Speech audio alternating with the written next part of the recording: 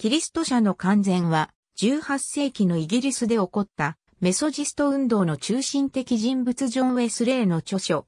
この書に紹介されたキリスト者の完全における完全は神についてのみ言い売れ哲学的な絶対的完全を意味しない。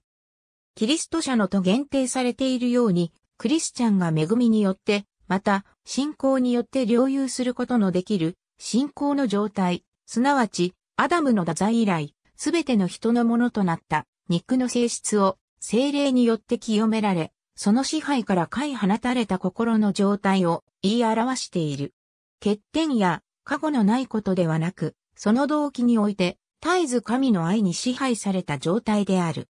この典期的な清めの経験の後にも、その人は生涯かけて恵みによってキリストの満ち満ちた愛の御丈に達するまで様々な原因から来る罪への傾きやすさを克服して愛に成長してゆく。成長の余地を残している愛における動機の完全をキリスト者の完全と表現する。